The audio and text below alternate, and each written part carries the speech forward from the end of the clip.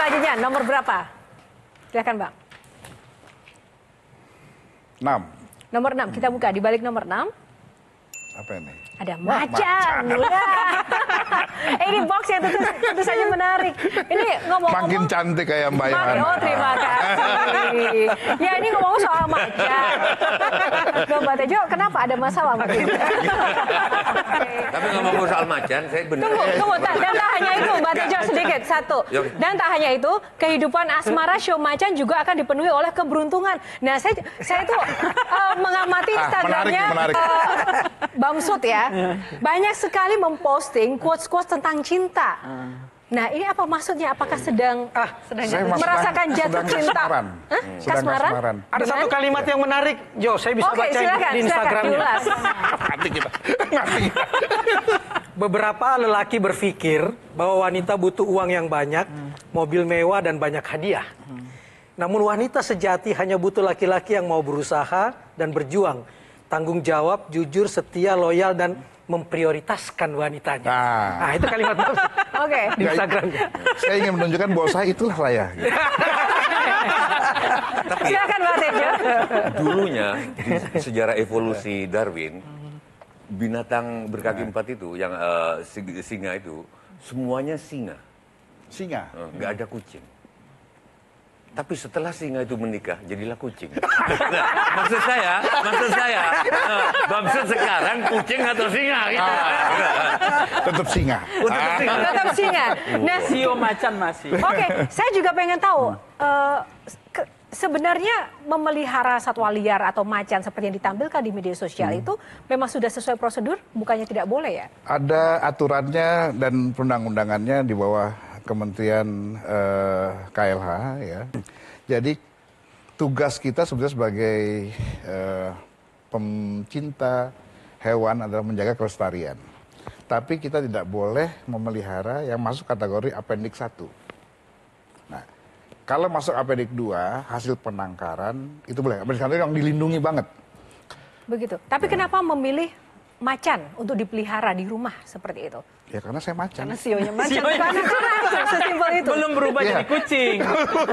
Masih simba, masih simba. Masih Simba. Ya, tapi teori semua laki-laki yang udah menikah jadi kucing. Ya, tapi aku tahu ini kalau misalnya enggak kalau misalnya ya, Mas itu sehari berapa kilo Mas, dagingnya?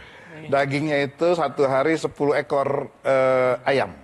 Nah, bagaimana seorang ketua MPR Eh. memelihara daging segitu sementara banyak orang yang belum bisa makan daging gitu di Nah, Indonesia? Bagaimana saya ingin menjaga kelestarian singa ini. Ya, Hmm. Tentu harus ada pengorbanan yang kita lakukan. Tapi saya juga tidak menyampingkan ada ada kepentingan dapil saya, rakyat saya di sana yang memerlukan berbagai bantuan. Sudah saya atur pengeluarannya, termasuk zakat saya dan segala macam. Yang di rumah ya eh, kalau misalnya seperti kulit harimau yang ada di rumah itu asli.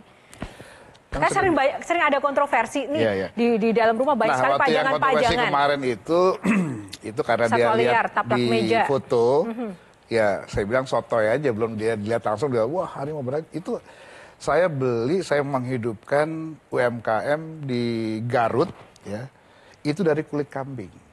Ya sesuai mau meloreng apa, loreng macan, loreng macan tutul, bisa dilukis. Tapi dari semua harta at- ataupun eh, apa namanya hal-hal yang terkait dengan hobi yang mahal-mahal tadi, mewah tadi, itu tetap taat pajak kan untuk kemudian Itu nggak mahal juga, taplak itu... eh, tidak, maksudnya dari ha- harta benda ataupun segala kemewahan yang dimiliki tetap pajak lancar kan? Sebetulnya gini, eh, Pajak gimana nih? Kita mau tahu juga seorang ketua MPR taat pajak enggak gitu. Enggak, ini pertanyaan-pertanyaannya orang iri loh gitu. oh, Intinya tergantung itu. niat ya. ya enggak, gue masih penasaran jawab. Enggak, enggak, taplak saya beli itu untuk menghidupi pembinaan ke mereka. Oke. Ya, satu, dari ada kelinci juga ada. Nah, kemudian yang hobi Pajak. yang lain, tentu dong bayar pajak. taat semuanya Iya, kan terdaftar ya. Saya di DPR yang bikin aturan. Saya tertarik, masih tertarik di hewan kaki Oke, duanya. satu lagi. Oh, iya, iya, iya. Instagram, tapi kalimatnya menarik. Eh, apa? Dua, dua, dua cuitan di Instagram, kalimatnya menarik, Apa? gambarnya hewan. Yang pertama gambarnya Bamsud nih. Eh. Hiduplah seperti bawang. Walau diiris-iris tapi tak pernah Oh, aku menangis. baca itu ya. Terus terus- Yang menangis justru orang yang melukainya. Habis itu muncul onta dengan perempuan. Kalimatnya gini. Aku yang baca biar. Nah, kalimatnya ini, kalimatnya ini. yang jadilah seperti bawang. Enggak, yang seperti bawang Oh, aku yang seperti tertarik. bawang dulu. Ah. Iya. Hiduplah seperti bawang. Walaupun Walau diiris-iris. diiris-iris, tapi tak pernah menangis. Yang menangis, yang mengirisnya. justru orang orang yang melukainya. Nah, yang kedua, yang kedua lebih menarik. Ngeri kan? Ya, ini dia, dia, dia biar adem, biar Perempuan, adem. biar Iya, adem. supaya adem, Bacain, Pak. bacain, biar adem. Pak. Shirley supaya adem. Yang ini. Yang mana? Awas kalau nggak adem.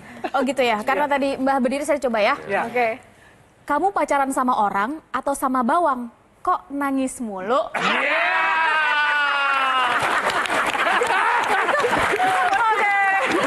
Artinya gitu, Mbak. Kita coba Bukan, ya. ini sebenarnya buat anak saya. Pacaran, saya lihat di CCTV, pacaran berdua nonton, terus cowoknya pulang, nangis. Eh, kamu tuh pacaran sama bawang apa orang? Oke, baik terima kasih. Oke. Jawabannya. Jawabannya